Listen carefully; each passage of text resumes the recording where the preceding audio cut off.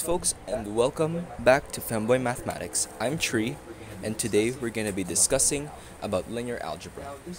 Now, this is just going to be an extras episode. I'm actually filming this simultaneously with the previous episode, which is the Pythagorean theorem episode, and this extras episode is actually a request done by one of our viewers. And um, I think this is the name of the person was Sad Girl. I forgot, but she requested that I do an episode or a discussion on linear algebra and basic vector vector operations. So before we begin this lesson, I hope you guys um, have at least watched 3 Blue 1 Brown's videos on linear algebra. I suggest you guys watch his videos first before watching mine so that you have a good concrete understanding of it and maybe a relatable moment at times, like a eureka moment wherein I discuss something and then you say it on your side of the screen. So, I suggest you guys watch The Essence of Linear Algebra by 3 Blue 1 Brown before watching my videos because it's highly likely that what I'm gonna say is gonna be similar to what he said or what he discussed. So we begin with three viewpoints, which are the physics student. The way physics student think of vectors, um, because linear algebra mostly deals with vectors, What they think of vectors. what they think of vectors is basically an arrow in space that has direction and magnitude. So basically direction is where it's pointing at and magnitude which is how long it is or how thorough that vector is. So we can think of that of that stretchiness or that longness as how intense the motion is or how how frequent it is or how strong it is or how large the force is. Because vectors are mostly described as forces, so vector quantity, I suppose. And the second viewpoint is the computer student's viewpoint. So computer students think of vectors as an ordered list. So let's say you want to list your grocery items, for example, and you want to assign them to variables. Let's say for chicken, you want to assign it to variable A. For the vegetables, you want to assign it to variable B. So this is your ticket, I suppose. This is an ordered list. You would you would list it this way, or that's how computer graphics students would think of it. And now for my part, or for our part, the mathematicians, we seek ways to generalize it. We seek ways to combine these two using an interconnected system that combines this way of listing vectors and, of course, this um, entire concept of vectors through a, system a system of operations and different constructs and axioms. And this is basically what linear algebra is. Linear algebra is. Linear algebra Linear algebra is the way mathematicians, or it's a branch of mathematics in which we draw generalizations between the physics student's point of view of a vector and the computer graphics student's point of view of a vector. And how mathematicians how think of mathematicians think of vector is um, not only on its own or as a quantity itself, but rather we can think of it as a scalar I should just just search that online because I don't have much time right now. But, um, um, long story short, um, a scalar quantity is much like a vector quantity, but you multiply it. It's more of a coefficient in our part. So, um, um, so so we have three or two, mostly two, because we mostly focus on only two basis vectors. of a system. So basically, these are defaults. Default. Think of it as a default skin in Fortnite. I'm sorry I had to make that reference. It's the best reference I could think of in my head. Or a default skin in CS:GO, or default gun skin in CS:GO. Um, crap, I'm running out of ink.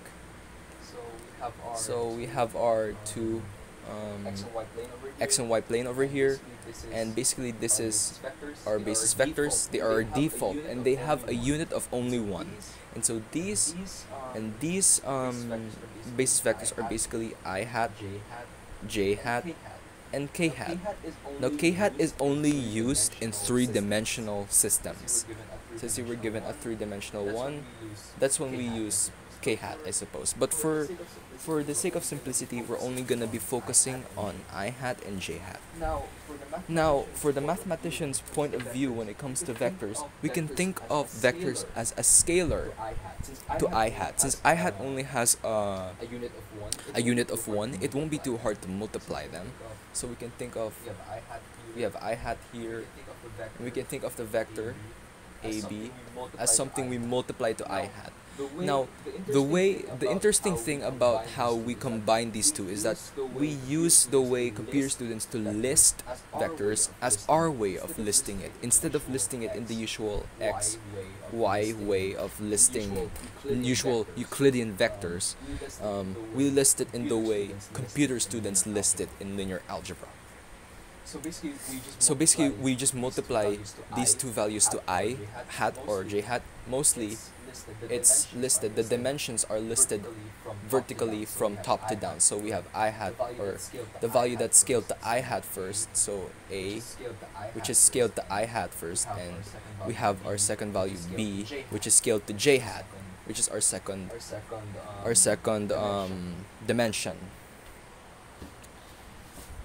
Now there are basic. Now there are operations basic we could operations we could perform with um, with vectors with vectors to, um, to of course like to of course like add them you know out add of them curiosity you know and out of stuff curiosity and stuff like that.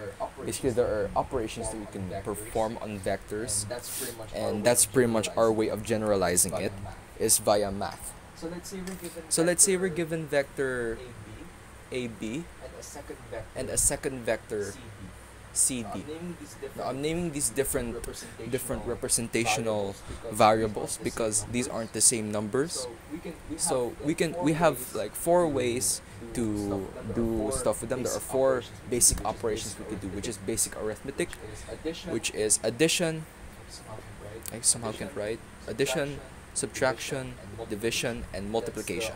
That's the operations we can perform on vectors. For this case, Now for this case, we're gonna add these two if we're gonna add these two vectors, we're basically just gonna be adding we're basically just this row over adding here, this row over here with this row and this row with this row. So A plus C on the top on the first row. the top on the first row and B plus D. The same applies. The with same applies with three-dimensional vectors, such as A, B, C plus plus C, D. E. They'll just be the same. That would just A be the same thing. A plus C, B plus D, and C plus E. Now this is nothing more. Now than this is another nothing more than vector. That's the result That's of the your result operation of here. your operation here. Now for Now for for subtraction. it's for pretty much the subtraction, it's same. pretty much the You do same. pretty much the same. You do thing, pretty much the except same thing, except you subtract them. So in this case, it would be vector AB vector minus AB minus vector CD equals vector A minus C A minus C B and B minus D. same thing with multiplication. And same thing with multiplication, just multiply them and all that.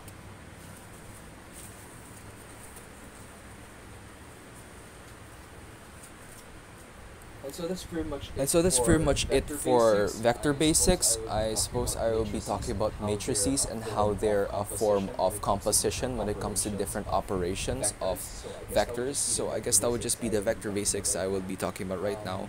Um, there's a chance I um, might have some downtime because of stuff going on in real life because I'm still a studying student. So I suppose I'll see you uh, guys on the next episode.